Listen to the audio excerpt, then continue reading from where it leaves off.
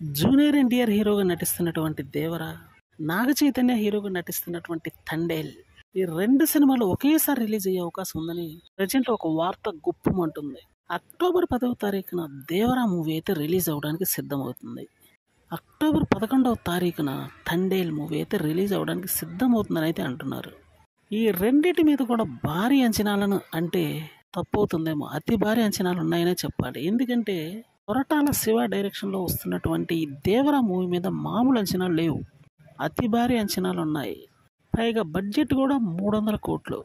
ఇక నాగ చైతన్య మూవీకి వస్తే ఇది కూడా ఒక పాన్ ఇండియన్ మూవీ అనే చెప్పాలి. ఈ సినిమా మీద కూడా అంచనాలు చాలా ఎక్కువగానే ఉన్నాయి. ఇప్పుడే ఒక రైజింగ్ హీరోగా ఎదుగుతున్నటువంటి నాగ చైతన్యకి ఈ సినిమా పట్టడం అనేది నిజంగా వండర్ఫుల్ అచీవ్మెంట్ అనే చెప్పాలి. ఇది కానీ బ్లాక్ బస్టర్ అయిందంటే తిరుగుండదనే చెప్పాలి నాగ చైతన్యకి. నాగార్జున సైతం సాధించలేనటువంటి అచీవ్మెంట్ని నాగ చైతన్య సాధిస్తాడు.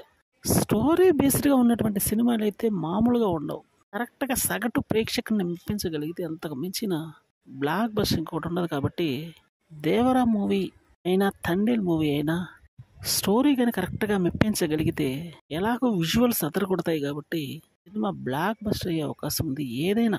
కాబట్టి రెండింటికి మధ్య పోటీ మాత్రం గట్టిగా